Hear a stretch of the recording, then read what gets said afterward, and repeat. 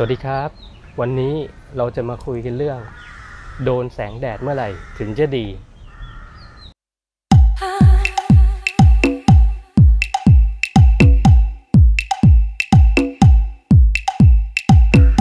ครับพบกับ1คีโตดัดดี้อีกครั้งนะครับ ก็จะมีคำถาม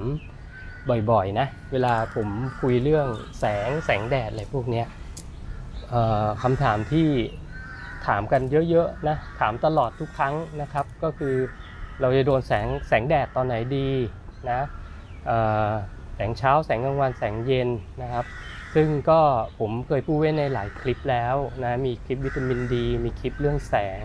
คลิปเรื่อง non native EMF แต่วันนี้จะคุยเรื่องเดียวก็คือว่าโดนแสงเมื่อไหร่ดีนะก็จะเป็นสิ่งที่ผมปฏิบัติกับตัวเองแล้วกันมาแชร์ให้ฟังนะครับ อาจจะไม่มีผิดไม่มีถูกนะ เพราะว่าแต่ละคนก็อาจจะฟังข้อมูลจากคนละที่ผมฟังหลายอย่างฟังหลายที่ แล้วก็มีข้อมูลวิทยาศาสตร์ลึกๆด้วยนะผมก็เอามาปฏิบัติกับตัวเองนะครับ ก็จะมาแชร์ให้ฟังเป็นรูทีนหรือกันทั้งวันของผมเลยแล้วกันนะครับอันดับแรกนะต้องบอกว่าแสงธรรมชาติเนี่ยดีที่สุด มีคนถามเออไปใช้แสงแดง หลอดแดง หลอด UV อะไรพวกเนี้ย ซึ่งในต่างประเทศเขาก็มีใช้นะครับเขาก็มีเอามาเอามาเหมือนกับทำช่วยนะในการในการต้องการบางสิ่งบางอย่างจากแสงพวกนั้น ซึ่งต้องบอกว่าแสงเทียมเนี่ยยังไงก็สู้แสงธรรมชาติไม่ได้นะครับ เพราะฉะนั้นแสงเทียมเนี่ยผมจะไม่กล่าวถึงเลยกันนะเพราะมันอาจจะมีทั้งประโยชน์แล้วก็มีโทษด้วยถ้าเราใช้ไม่เป็นนะครับอันนี้แสงเนี่ย มันเริ่มตั้งแต่เช้าถึงเย็นนะง่าย ๆเลย ผมก็จะพยายามออมองแสงเช้าทุกวัน แสงเช้าเนี่ยมันจะมีแสงที่สำคัญคือแสงสีน้ำเงินนะครับของดวงอาทิตย์ที่ส่งส่องเข้ามายังผืนโลก แสงสีน้ำเงินตอนเช้านะซึ่งจะทำให้โปรเซสของกระบวนการในร่างกายเนี่ยมันเริ่มขึ้นนะมันเริ่มขึ้นเริ่มฮอร์โมนทุกอย่างเริ่มจากตรงนี้เลยนะครับ ทำให้ circadian rhythm หรือว่านาฬิกาชีวิตของเราเนี่ยทำงาน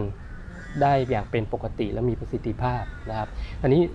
ต้องบอกก่อนว่าแสงเนี่ยเวลามันมันมามาถึงคนนะครับ เราจะมี receptor ในการรับแสงเนี่ยหลายจุดนะ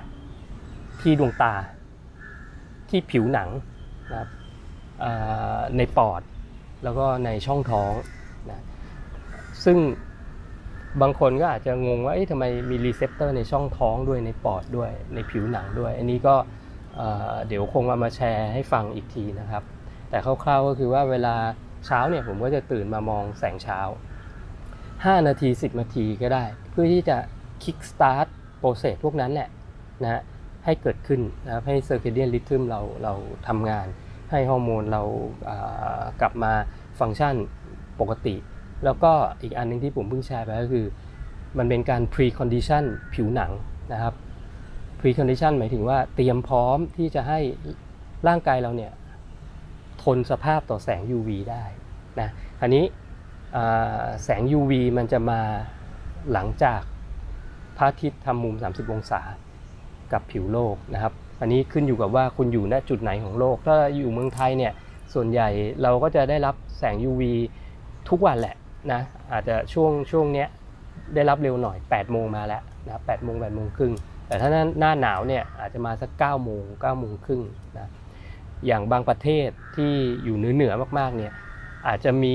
อยู่ 3-4 เดือนที่ไม่ไม่มีแสง UV เลยนะครับ ซึ่งอันนั้นก็คนที่อยู่ตรงนั้นเนี่ยเขาก็จะมี receptor พิเศษของเขาหมายถึงว่าผิวหนังเขาก็จะ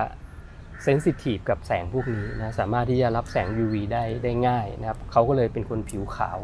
นะอย่างคนที่อยู่แอฟริกาเนี่ยอยู่เส้นศูนย์สูตรเลยเนี่ยเขาจะผิวดำปึ๊ดเลย เพราะว่าเขาต้องมีตัวที่ protect ปกป้องร่างกายเขาจากแสง UV นะครับอันนี้แสงเช้าเนี่ยมันสำคัญตรงที่ว่า ถ้าเกิดเราเราเราได้รับแสงเช้าเนี่ยมันจะมีประสิทธิภาพในการที่จะสร้าง protection นะครับ ในการที่เราจะมาโดนแสง UV ต่อไป ซึ่งแสงเช้าต้องสำคัญนะผมก็พยายามที่จะต้องมองทุกวันต้องโดนทุกวัน ที่สำคัญก็คือไม่ใช่แค่มองเดียวนะ ต้องโดนผิวหนังด้วย เพราะฉะนั้นตื่นเช้ามาผมถอดเสื้อเลย แล้วก็มายืนรับแสงหน้าบ้านถอดรองเท้าด้วยนะครับ อันนั้นก็เป็นรูทีนปกตินะนิดนึงบางคนเนี่ยตื่นเช้า ก่อนที่แสงพระอาทิตย์จะขึ้น ช่วงนี้แสงพระอาทิตย์ขึ้น6โมงนะครับ ช่วงหน้าร้อนอถ้าสมมุติตื่นตีห้าครึ่งตีห้าเนี่ยแล้วสิ่งที่คุณทำมันแรกคือคุณเปิดมือถือดูเลย เปิดไฟ LCD เลย พวกนี้เนี่ยก็ไม่ดี เพราะทำให้ระบบร่างกายเราเราเพี้ยนทันทีมันจะนึกว่าเป็นแสงเที่ยงทันที มันก็จะสกิปการทำงานของการรับแสงเช้าไปเลยนะครับ เพราะฉะนั้นสิ่งที่มันใช้ ปกป้องได้คือแว่นนะพวกแว่นแว่นที่เป็นบูบ็อกเกอร์นะครับที่ที่กันแสงน้ำเงินนะคือดีที่สุดพยายามตื่นก่อนแสงพระอาทิตย์ขึ้นนะครับ10 นาที 20 นาทีอยู่ในบ้านนะใช้เปิดหลอดแดงได้นะเปิดเปิดหลอดแดงได้นะช่วยในการคำทางนะไม่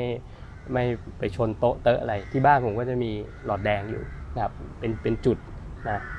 ที่ผมต้องไปเข้าห้องน้ำหรืออะไรพวกนี้นะครับแล้วก็พยายามที่จะใส่แว่นนะครับตื่นมาก็จะใส่แว่นไม่ดูมือถือนะครับจนกว่าเราจะมองแสงเช้าเสร็จ อันนั้นคือช่วงเช้า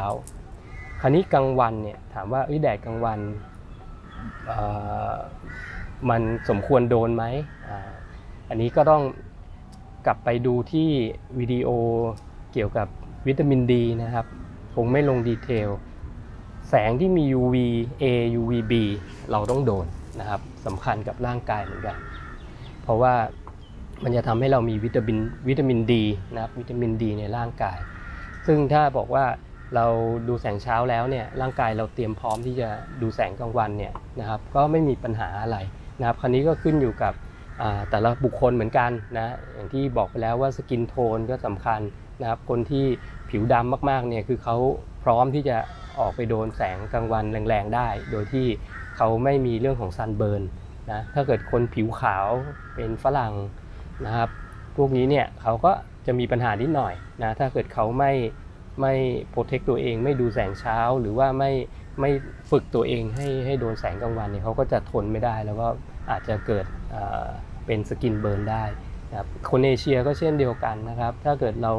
เราไม่รู้เรื่องพวกนี้เนี่ยแล้วอยู่ดีไปโดนแสงกลางวันเลยนะแล้วผิวไหม้นะครับ skin burn ขึ้นมาพวกนี้เนี่ยมันก็ไม่ดีนะ มันก็โดนเยอะไปมันก็อันตรายเหมือนกัน เพราะนั้นแต่ละคนต้องต้องออวิเคราะห์ตัวเองได้นะครับว่าโดนแค่ไหนถึงจะดีนะก็ผมเคยแนะนำแอปพลิเคชันอย่าง D-Minder พวกนี้ไปแล้วนะอันนี้อ่อีกนิดนึง ถ้าไม่มีแอปพลิเคชันทำยังไงนะครับ ก็ใช้ดูเงานะก็คือถ้าตอนเช้าเนี่ย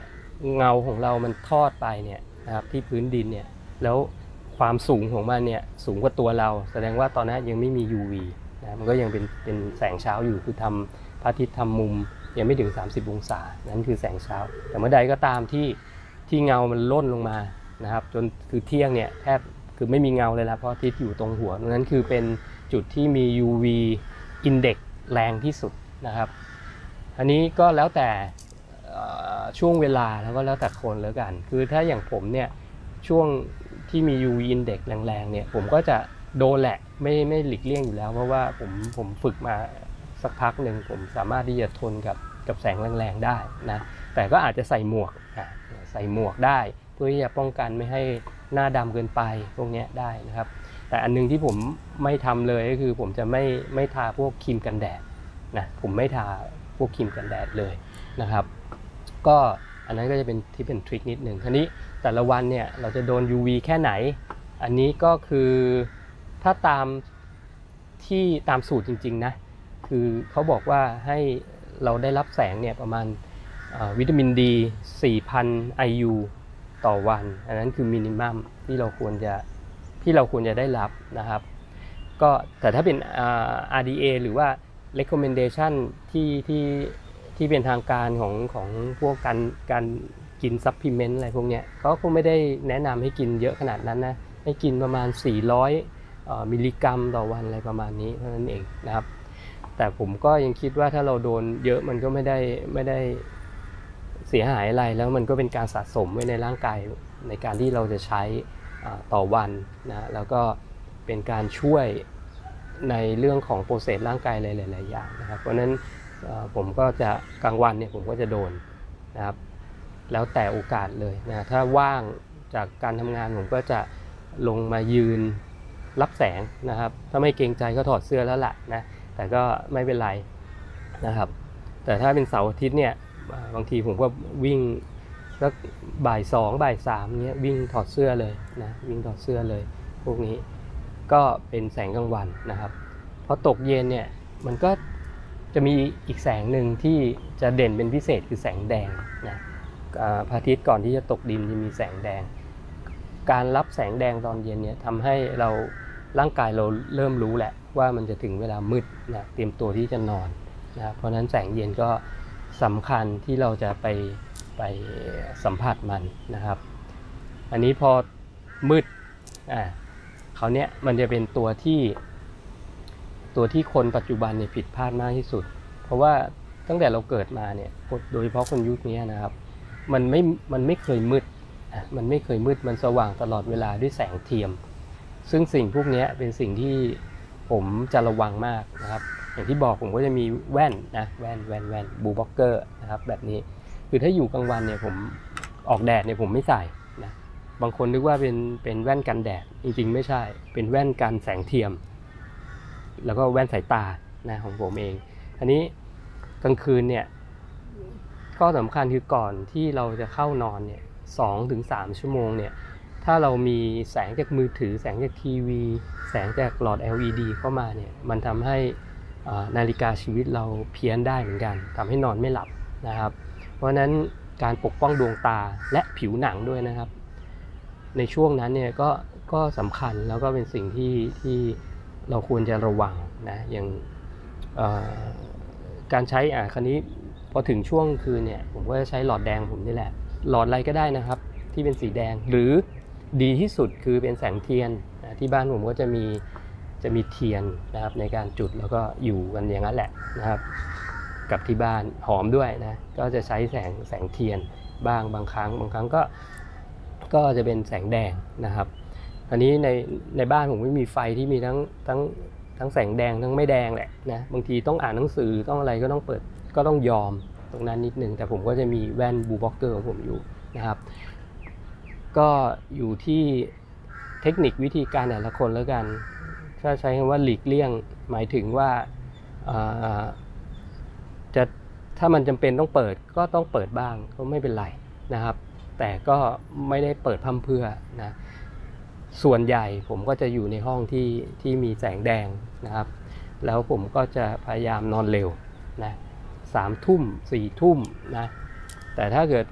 ไม่ได้จริงๆ เป็นห้าทุ่มเที่ยงคืน มันก็ต้องช่างมันนะครับ ก็ก็เป็นเริ่มใหม่วันต่อไป แต่เราต้องตั้งใจไว้ว่าเราจะนอนเร็วนะครับแล้วก็ตื่นให้เช้านะเพื่อที่ไปดูแสงเช้านะครับนี่ก็เป็นทิปแอนทริคนะครับเป็นสิ่งที่ผมทำทุกวันเคลียร์ให้ฟังว่าโดนแสงตอนไหนดีนะผมก็มักจะเข้าไปตอบว่าทุกตอน โดนทุกตอนนะครับ ก็หวังว่าคงจะมีประโยชน์ไม่มากก็น้อยนะแล้วก็ว่างๆจะมาคุยให้ฟังอีกนะครับ ในรูปแบบของวิดีโอล็อก ขอบคุณมากครับ สวัสดีครับ